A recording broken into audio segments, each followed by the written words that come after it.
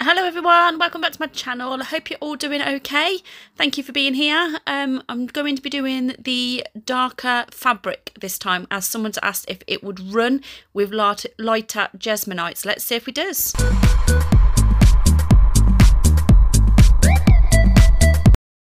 So I can't find my fabric pencil, so uh, just a normal crayon crayon um, has actually done this really well. So I've placed in the actual fabric into the mould and I've just gone round the edge with the pencil to, to line it. Um, warning to everybody, I couldn't find my smaller scissors. I couldn't bother to look for them. So I tried these. Don't be lazy do what I had to do in the end and go and find a smaller pair of scissors because it was a nightmare trying to cut this really thin fabric with those massive things.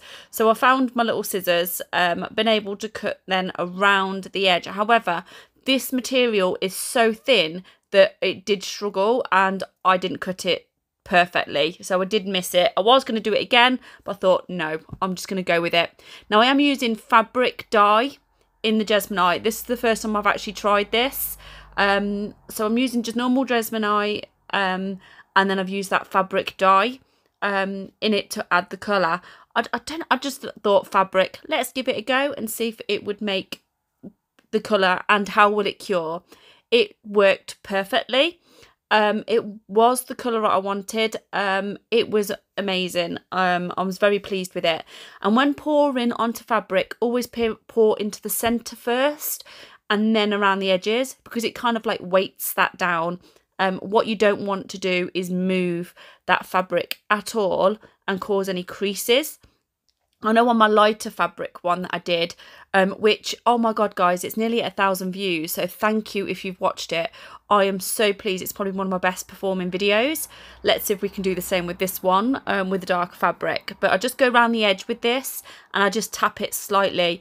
I don't want to shimmy to try and move any air bubbles as I do not want that fabric to move, especially with it being a really thin fabric.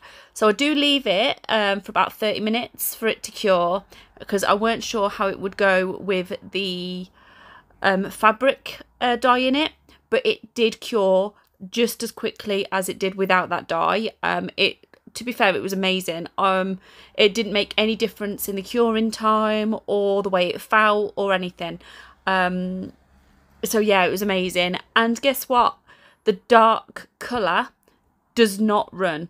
I am going to try this with a denim, I think, because that is definitely one that probably would, I think. Um, but we'll see. Um, so you can see that there is a bit of an edging around the edge where I didn't cut it perfection, perfect, perfectly. I don't know what I was trying to say there. so what I'll do is I'm going to leave this now 24 hours to dry as this is got a cure. Um, that that fabric is still damp, and I'm gonna seal it this time with Mod Podge. Um, instead of using the resin like I did with the lighter one, now I did the resin because it was a lighter fabric and just any dirt will probably show up. But with the darker fabric, I know that I'm going to be able to get away with it. So that's why I thought I'd try the Mod Podge on the fabric. And I have actually done it before. So I'm going to go around with a Posca black acrylic pen around the edge to try and get rid of those edges. Um, but it was just the cutting of the material that I did not get right. But like Claire says, um, if everyone knows Claire, it's made with love and not perfection.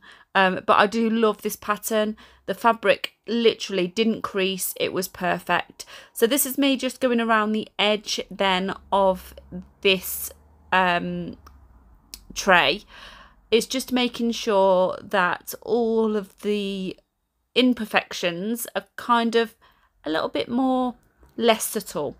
Um, I noticed actually that I was I kept moving this bit off camera. I do apologise. Um, and this pen at the moment, I've had a bit of a nightmare with it. I don't know if anyone else has had these nightmares. It's just I have to shake it and then press it and then loads come out.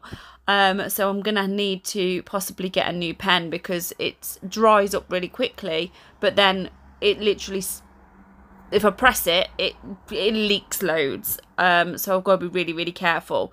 Um, anyone else recommend a decent type of brand or pen? Just drop it in the comments. I'm definitely worth um, trying something. Um, yeah, but this one was a bit of a nightmare. It started on my school one. Um, So I don't think I'll be using this one again on any future projects. Um, but it has it has been a bit of a challenge, this pen. but no, it did what I wanted it to do. It it sealed that imperfection and it literally give it that finishing touch.